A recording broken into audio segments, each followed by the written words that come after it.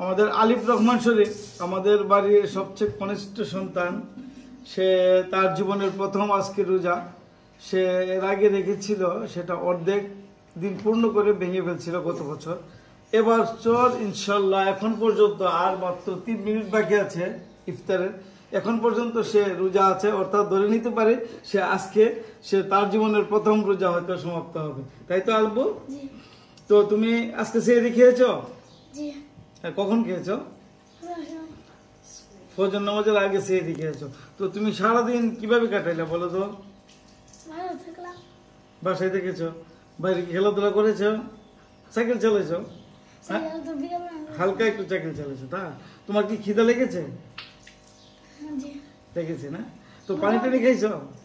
মা পানি না খেলে কীভাবে হবে? পানি খাও নাই? কিচ্ছু খাও নাই? এই একটু রান্না করে যে কিছু খাইছো? অল্প কিছু নাই না তো বুঝে নিলেন? তাহলে বোঝা গেল তাকে টেস্ট যে করা হলো সে পরিপূর্ণ তার রোজাটা কবুল করার মালিক আল্লাহ পাক। তার হয়তো এখনও পর্যন্ত রোজা রাখার হয়তো বয়স হয়নি কিন্তু এখন থেকে হয়তো প্র্যাকটিস করা লাগবে। যাদের বাসায় ছোট সন্তানরা আছে এটা আদরের জিনিস এবং এটা শখের জিনিস এবং ইসলামের পথে এগিয়ে নেওয়ার জন্য এটা একটা তার প্রথম ধাপ। তুমি আজকে নামাজ পড়েছো? হুম? কোথায় নামাজ পড়েছো? মসজিদে যে যে নামাজ পড়ছো? কয় অক্ট পড়ছো? মসজিদে গিয়েছো না? তো মসজিদে গিয়ে সে নামাজ পড়েছে। এখনও তো যাবা আরও দুই অক্ট বাকি আছে মাগরিব এবং এশা। তাই তো? তারাবি কি পড়েছিলে গতকালকে? জি। তারাবিও পড়েছো? মাশাল্লাহ গতকালকে তারাবিও সে সমাপ্ত করেছে। এবং কোরআন শরীফ কি পড়েছো আজকে? কোরআন শরীফ পড়েছো? হুজুর কাছে গেছিলা? তো হুজুর কাছে যে কই কই পাতা পড়ছো কোরআন শরীফ? চার পাতা চার পাতা? ও সে কিন্তু পবিত্র কোরআন শরীফ পাঠ করে আলহামদুলিল্লাহ তার অবস্থা ভালো। সে প্রতিদিন চার পাতা করে পড়ে। আজকেও পড়েছে না? হ্যাঁ রমজান মাসে পড়লে কিন্তু সব বেশি। রমজান মাসে যারা এই ভিডিওটা দেখছেন যাদের বাসায় বাচ্চারা আছেন বাচ্চাদের জন্য আসলে এই ভিডিওটা। তারা যে কেউ যদি রোজা রাখতে চান এখন হয়তো তার ইচ্ছা মতো ছেড়ে দিবেন কারণ তার বয়সটা হয়তো বেশি না। যেটুকু বয়স আছে সেটুকু বয়সে হয়তো তার রোজাটা হয়তো সে যদি রাখতে পারে, তাহলে রাখল। আস্তে আস্তে প্র্যাকটিস হবে, অভ্যাস হবে।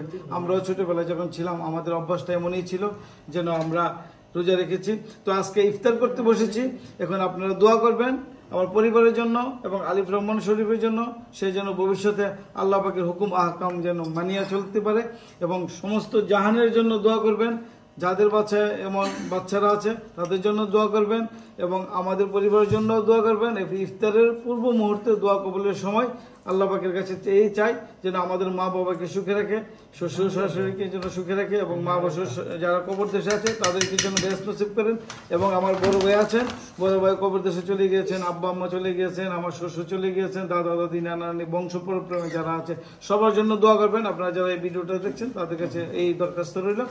আশা করি আপনারা, আপনাদের নিজের মা বাবার জন্য দেখবেন আরেকটা মেসেজ দিয়ে শেষ করতে চাই, সেটা হচ্ছে আপনার বাসার আশেপাশে যদি কেউ থাকে একজন ব্যক্তিকে যদি রমজান মাসে ইফতার করান অথবা একজন ব্যক্তিকে যদি কোনো একটা উসিলায় কোনো একটা দান খয়াত করেন তাহলে এটা প্রকৃতপক্ষে সোয়াবের খাতায় যাবে এবং আপনার হয়তো আমল নামে সেটা যোগ হবে। এমনটি করবেন। এই মেসেজটুকু দেখে তুমি আজকের মতো এখানে বিদায় নিচ্ছি। আল্লাহ হাফেজ সবাই ভালো থাকবেন। সবাইকে বলো দোয়া করে দিতে তোমাকে।